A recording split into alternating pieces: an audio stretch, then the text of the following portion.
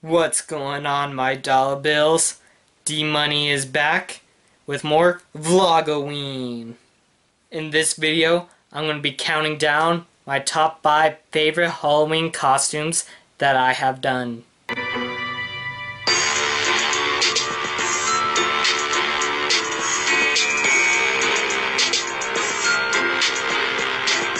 So starting off on this top 5 list of costumes that I have done is Blue Ninja.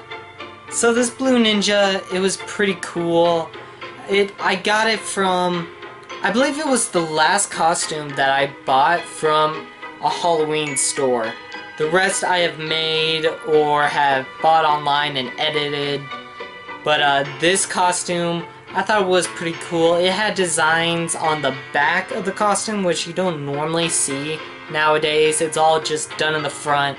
Because I guess when you're trick-or-treating, no one's going to say, alright, turn around, let me see all of your costumes. So why is there the point? What's the point on putting design on the back of the costume? I, I get you now, companies. But anyways, this costume was pretty cool. I like being a ninja. Uh, I was a ninja for two years in a row. This this costume was the last year I did, but I still like it and it deserved a spot on my top 5 favorite. Number 4, Iron Man. I made this Iron Man costume out of catcher gear from baseball. I I had shin guards on my arms and my legs I had the chest pad, which I put one of these lights in there for the arc reactor. It, I spray painted it all. I got kung fu shoes and shoe uh, cardboard underneath them, so that way my feet weren't exposed. And I got red, uh, a red shirt, red sweatpants, and I had a helmet from Hot Topic, which I still have. Uh, you might have seen it in some of my other videos hiding on my shelf up there. That costume was one of my favorites because it was one of the very first that I made myself. And it was so much fun. I, it was one of the first projects I've ever done with spray paint. And I, to this day, I still have some of that spray paint. I bought so much with it. It, it was such a fun thing to work on, but because it's so low on the list, the reason why it's so low on the list is because I didn't do anything on the back. I thought that the red clothing would work for that, but looking back at it, I realized I should have done something back there. Number 3, the Amazing Spider-Man costume. This costume was the second costume that I have made.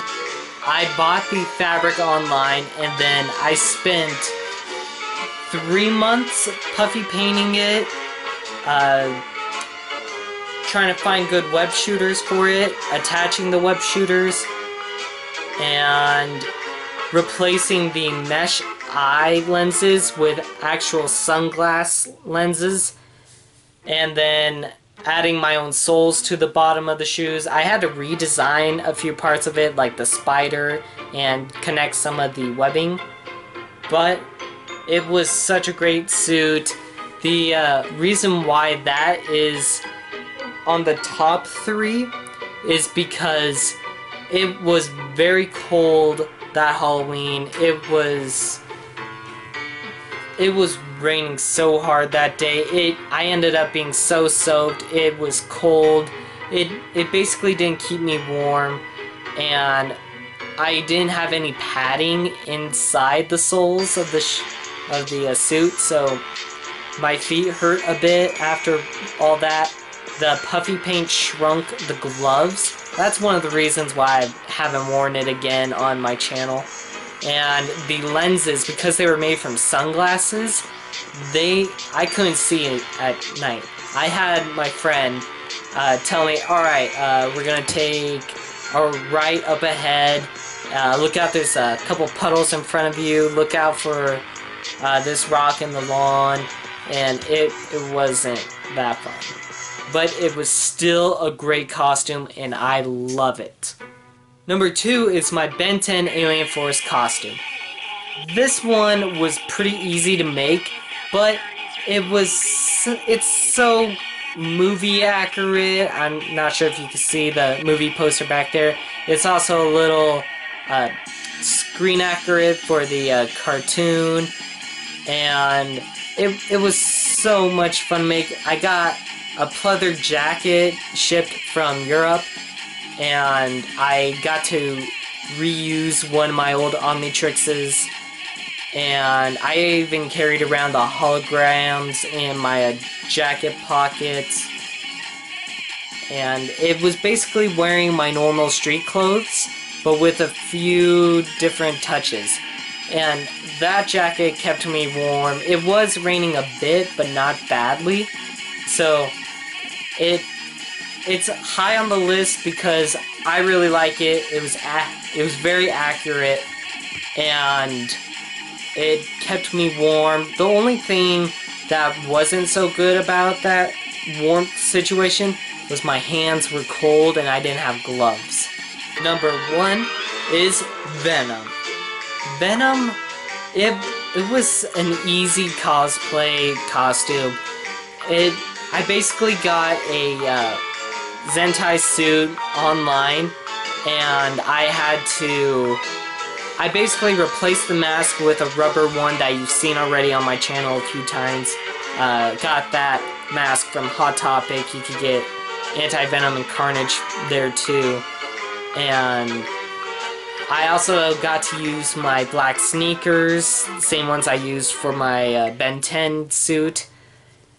And I didn't have to get web shooters, but that suit looks so nice. It it's tough to explain, but the reason why it's number one on my list is because it fits more into the Halloween theme than the other ones. The rest are superheroes and sort of do-gooders, but Halloween I feel like is more for the uh, the crazies and the uh, the bad guys and Venom. The mask definitely gave it that more oomph and it was a little hard to see out that mask too, but it worked better than the uh, Spider-Man mask. But it, the veins and the teeth and all the details on the mask, making it scary looking. And I remember I even frightened a few kids with it, but it it's so into the Halloween variety that it deserves a high ranking on this list. I hope you all enjoyed today's video. Stay tuned for more Vlogoween. Follow me on Instagram. And don't forget to rate, comment, and subscribe. Stay tuned. And have a great Halloween and happy October.